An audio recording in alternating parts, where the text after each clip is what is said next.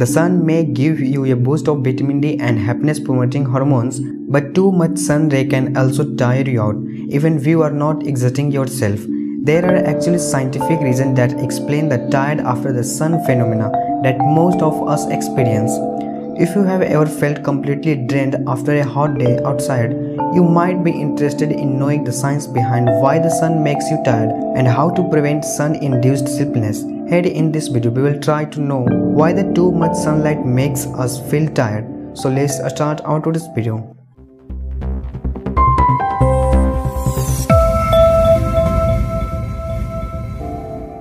Why does being in the sun make you tired? The sun is a powerful source of heat and light that triggers a number of changes in the human body. While many of these changes are positive, they can also leave you feeling sleepy. First, body temperature. To keep your body working properly, you need to maintain a core temperature of around 98.6 degrees Fahrenheit. Like other mammals, humans regulate their inner temperature using a process called thermoregulation, which compensates for fluctuation in the outside temperature. Scientists say that Energy from the sun transfer heat to the body through electromagnetic radiation in the form of photons. These radiation cause body temperature to increase. When your body temperature changes more than 0.5 degrees, your body reacts by being sleepy, grump or tired. While we are out in the sun, our body has to work hard to regulate our body temperature. The higher the outdoor temperature and the bigger the body, the harder our body has to work. Our body naturally works hard to cool us down and it uses a lot of energy and other resources including sweat. Sweat works to cool the body through vaporization of the water on the skin. This process gets energy from our bodies. Also in high temperature, our heart rate and metabolic system increase making our bodies work much harder. All that individual work makes us feel sleepy and exhausted. Number 2. Dehydration Sweating causes you to lose water and sodium, which can lead to dehydration. Dehydration makes your blood thicker, which interferes with thermoregulation. Because thickened blood is less able to carry body heat away from your core.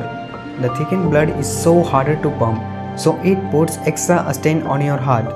With less oxygen being pumped around your body, you will likely feel lethargic. Number 3. Extreme heat. In addition to heat, the sun exposes you to UV rays or ultraviolet rays which can make you feel tired. Too much sun exposure can lead to a sunburn and chronic exposure to the sun can increase the risk of a skin cancer.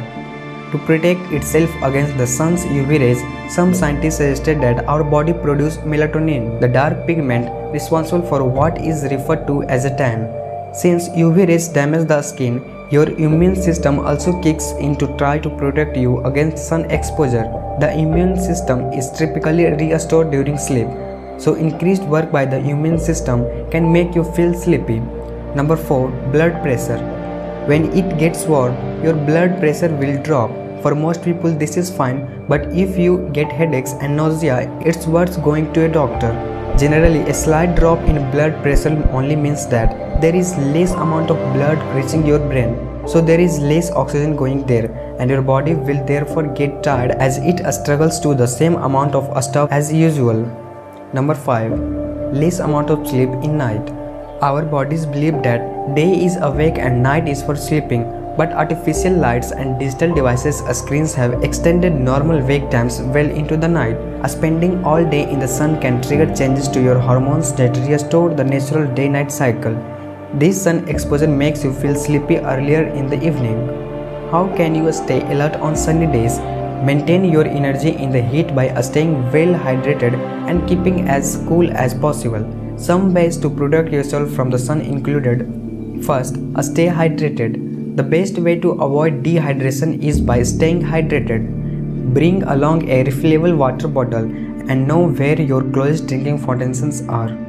Eat foods that have a high water content such as fruits and vegetables.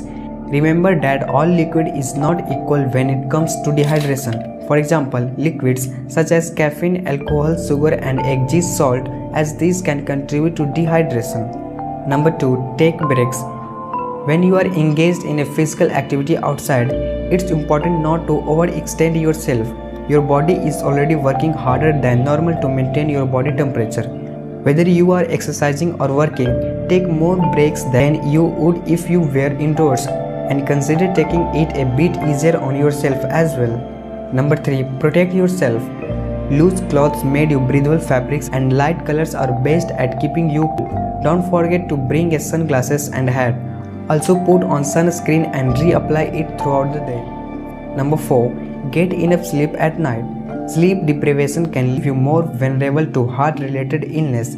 So aim for a solid night's sleep if you plan on doing a strenuous activity in the sun. Optimizing your bedroom with breathable bedding and a fan or air condition can help you sleep better in warm weather. Children, older people, those with health condition, people taking certain medications, and individuals who are sensitive to heat should take extra care on hot Sundays. days. It's a good idea to familiarize yourself with the signs of heat illness so you can prevent them from becoming worse. If you notice the earlier sign of heat illness, move to a cool place out of the sun, drink fluids and seek medical attention if necessary.